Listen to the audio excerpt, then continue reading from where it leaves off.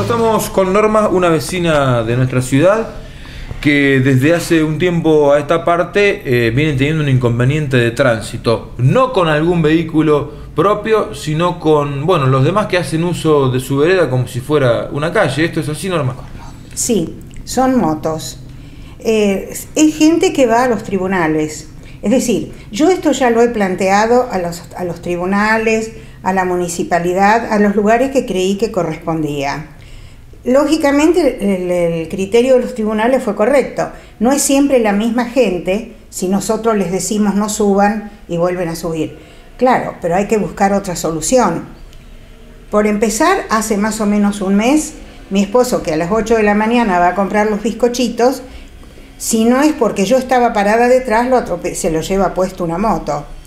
Y hace unos 15, 20 días, una señora que afortunadamente me pudo dar un empujón me salvó de otra moto.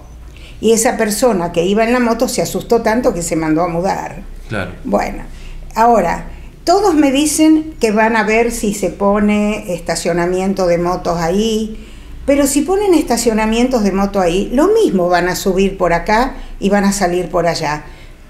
En realidad, yo sé que el problema es de la gente que no entiende que la, que la vereda no es para circular con vehículos, ni con bicicletas, si vamos a ser sensatos. Pero bueno, yo necesito una solución. Cuando, sí. Perdón, yo soy casi ciega. Así que a mí en cualquier momento me van a llevar puesta. Norma, cuando eh, ha hecho su reclamo y ha, conversado con las distintas autoridades, la gente que usted estuvo mencionando, ¿le han dado alguna respuesta concreta? Sí, que van a ver, pero desde esto hace como meses, meses, y no pasa nada.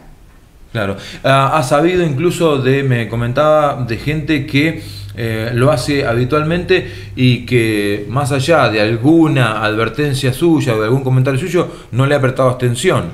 Sí, lo que pasa es que yo no reconozco si es la misma gente. Me parecen algunos conocidos, pues ya te digo, yo no veo mucho, pero sí, sí, no hacen caso, no hacen caso.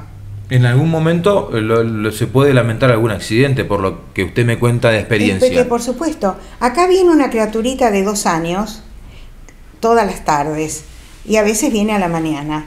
Esta criatura ya, sin que yo me llegue a dar cuenta, pero lo custodio muchísimo, me abre la puerta. Si llega a salir, porque no vienen despacio, ¿eh? suben a toda velocidad. Ahora, yo me alegro que ustedes puedan tener clara las huellas que están marcadas. No es una moto. Son varios. Son cientos, cientos de motos. Porque aquí por mañana pueden venir 10 o 20 o 30 personas pero por la ah, tarde también me decía. Sí, hay días que a la tarde también. No sé qué días son, pero también. Bien. ¿Qué sería un ideal para ustedes? ¿De qué manera le gustaría que esto se solucione? Para mí, que dejen de pasar. No sé si no se pueden cerrar las entradas para discapacitados. Que, utilizan esa forma para subir a la vereda. Sí, sí. Utilizan, y para colmo tengo dos. Una que entra de Ocampo. Y otra por España. Eh, otra por España. Pero además, yo tengo el garaje sobre Ocampo con la bajada. A veces suben por ahí y pasan todavía a más velocidad porque vienen tomando velocidad desde la otra vereda.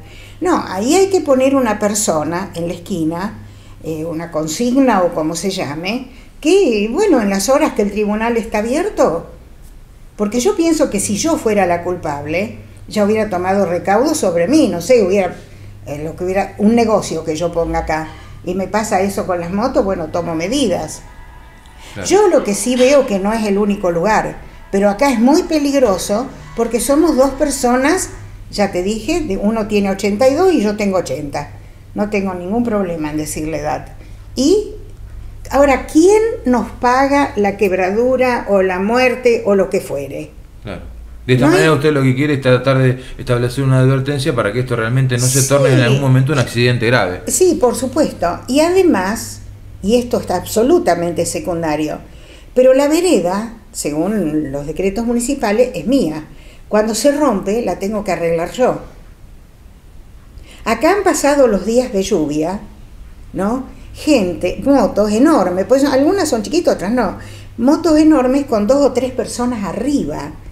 Entonces esa, esa vereda se va a terminar hundiendo. Bueno, ¿y a dónde voy yo a reclamar? Pero eso es secundario, ¿eh? Nada más que hablo de todos los recaudos que habría que tener qué sé yo, hay que regular el tránsito, que es lo que hay que hacer, no sé. Muy amable Norma, le agradecemos muchísimo su Ah, testimonio. yo les agradezco a ustedes. No, qué sé yo, no me gusta tener enemigos, pero estoy diciendo nada más que la verdad. ¿Estamos? Muy. Ahora, espero una solución, no te digo hoy, pero por favor, 15 días más a lo sumo. Gracias. No, gracias a ustedes. Muchísimas.